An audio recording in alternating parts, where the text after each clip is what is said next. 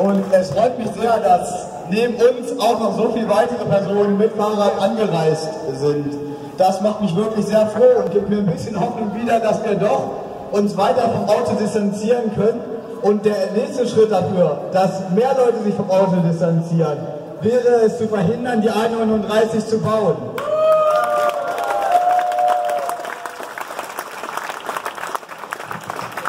Und wie schon angeführt wurde, ich beziehungsweise die Leute von Fridays for Future sind die Generation, die die Fehlentscheidungen, die jetzt getroffen werden, tragen müssen. Und deswegen gehen wir jeden Freitag auf die Straßen. Und deswegen sind wir auch heute hier, denn wir wollen diese Fehlentscheidung verhindern. Wir wollen die A39 verhindern. Wir wollen das Artensterben aufhalten.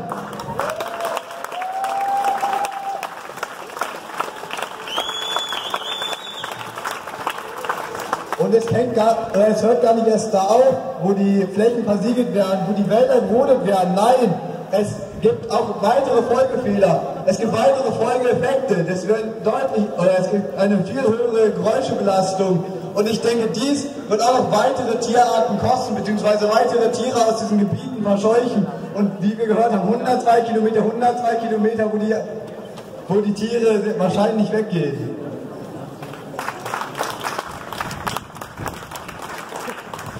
Und nun, äh, nun zu dem Fall, dass das wirklich, dass, dass diese Klage erfolgreich ist.